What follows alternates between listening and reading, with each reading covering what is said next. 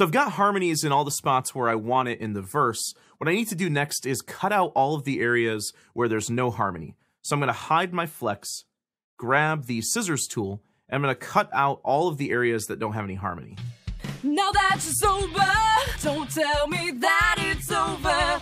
Don't turn this ship around and tell me that you can't give one more day. Don't ever tell me why. Don't you ever tell me why.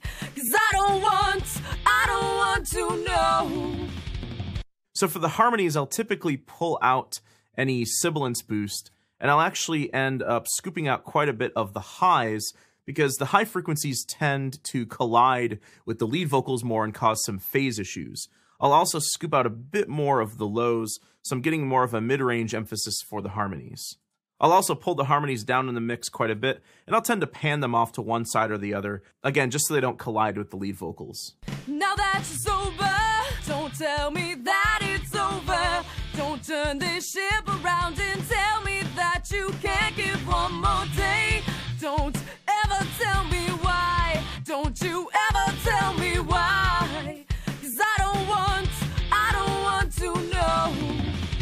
Now, if you want to go nuts, you can actually create even more harmonies and stack multiple harmonies on top of each other. So first, what I'm going to do is I'm going to bounce in place these four regions by selecting all four of them and pressing Control B. And I'll just call this Harmony 1.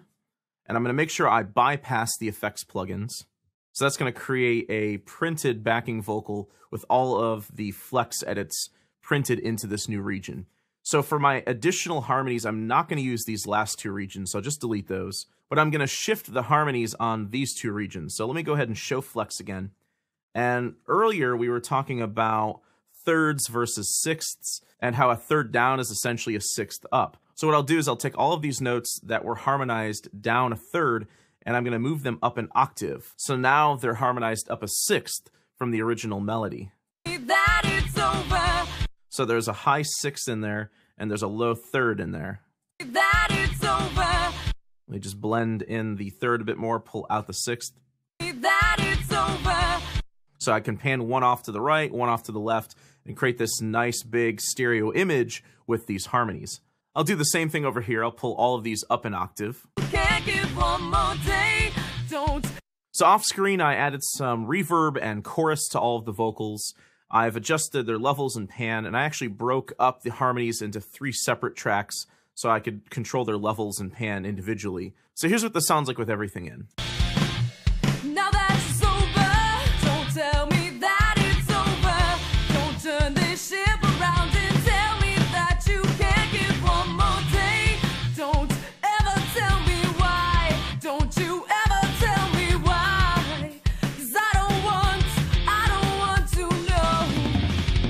So when you create artificial backing harmonies this way, you have to be really careful about how you mix them into the song. You don't want them to be too loud because if they're too noticeable, they'll start to sound fake and robotic. If you just tuck them in under the lead vocal, they can really help to support and thicken the vocal at certain points.